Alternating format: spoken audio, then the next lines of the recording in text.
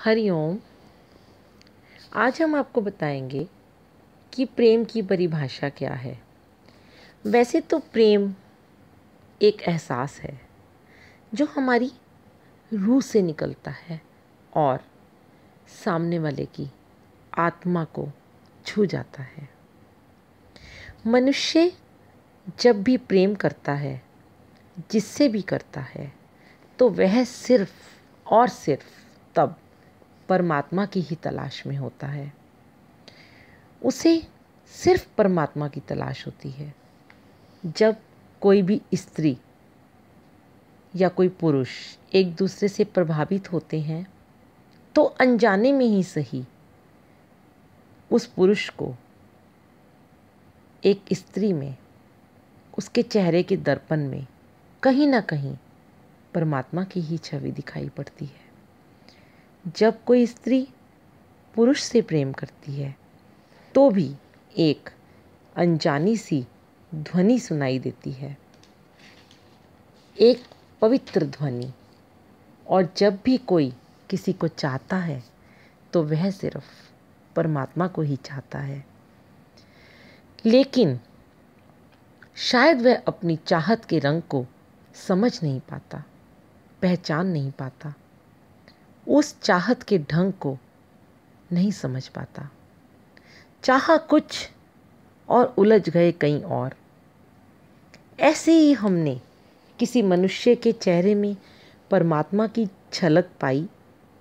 किसी देह में हमने परमात्मा को देखा तो हम देह को पकड़कर बैठ गए। हम उसकी आँखों की पूजा करने लगे। हम उसके रूप के पुजारी हो गए। हम ये भूल गए कि ये सारा संसार सिर्फ़ और सिर्फ़ परमात्मा का ही बनाया हुआ है। उसी का तो प्रेम है, उसकी ही जोत है सब में। अब अगर तुम देह की पूजा करोगे, आत्मा की नहीं करोगे तो लोग तुम्हें पागल ही कहेंगे।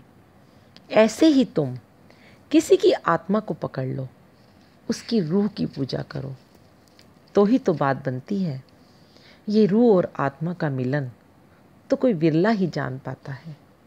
और जो जान लेता है, वो पा लेता है परमात्मा को। प्रेम करके देखो हर किसी से, सिर्फ़ उसे परमात्मा का रूप मानकर।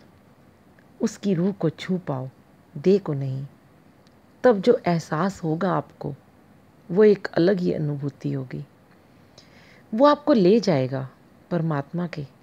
और करीब और करीब वही तो असली प्रेम है। वही तो असली पूजा है। ये तो प्रेम की बात है ऊधो। बंदगी तेरे बस की नहीं है। यहाँ सर दे के होते हैं सौदे। आशिकी इतनी सस्ती नहीं है। और आखिर में, जिन प्रेम की हो तिन ही प्रभ पायो। जिन प्रेम की हो तिन ही प्रभ पायो। जिसने प्रभु से, परमात्मा से प्रेम किया है, उसी ने प्रभु के दर्शन किए हैं। पर हमें हर किसी को प्रेम करते हुए सिर्फ़ यह एहसास करना है कि हमें उसकी लाज भी बचानी है। हमें उसकी रूह से, आत्मा से प्रेम करना है। उसकी देह से नहीं। तब आपको परमात्मा अवश्य मिलेंगे। अनजाने में ही सही। पवित्र प्रेम करके देखिए। पवित्र प्रेम बहुत कम लोगों को नसीब होता है। और जो इसे पा लेता है, वह इस मोह बंधन से हमेशा के लिए छूट जाता है।